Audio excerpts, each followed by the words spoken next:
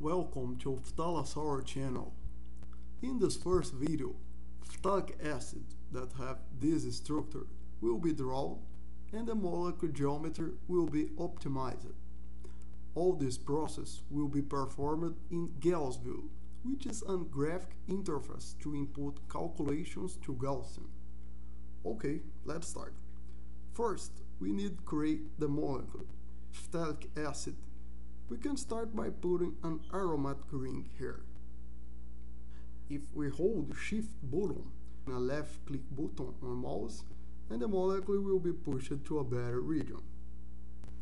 Phthalic acid is a dicarboxylic acid and we need to put the two sp2 carbons from the carboxyl acid.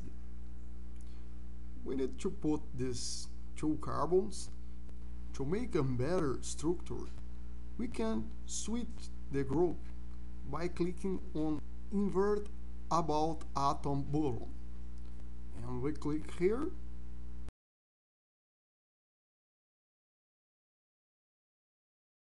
and become much better now and we'll finish putting the two double bonded oxygen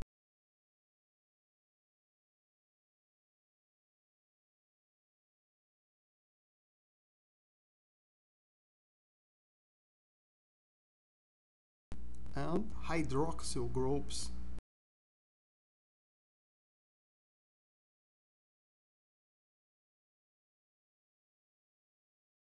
and now we have the two carboxylic acid groups on an ortho position.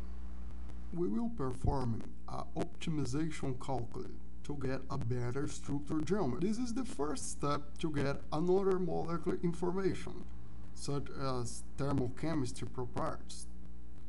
We could performing a DFT method by setting these parameters. But for time saving, this optimization will be performed in semi-empirical method PM6.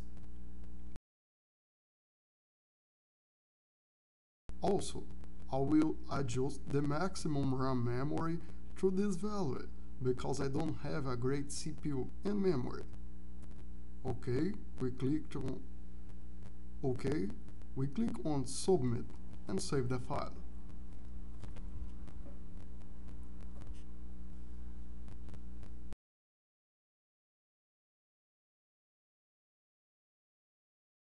and now let the calculations work.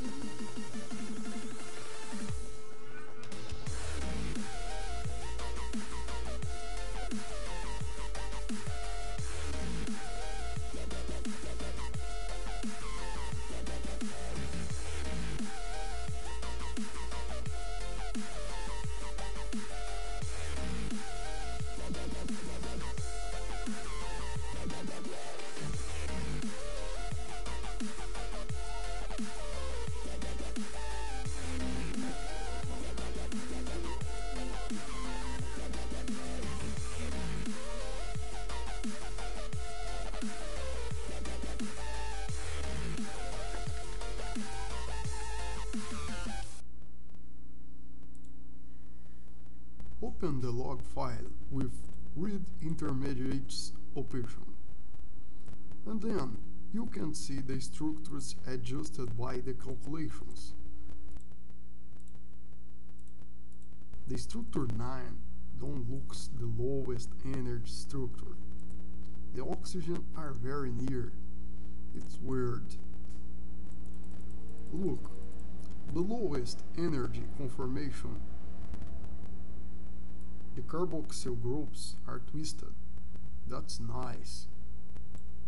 You can see the optimization steps and the energy in Hartree. Hartree is the Gaussian energy unit. And look, structure 9 really don't present a low energy conformation.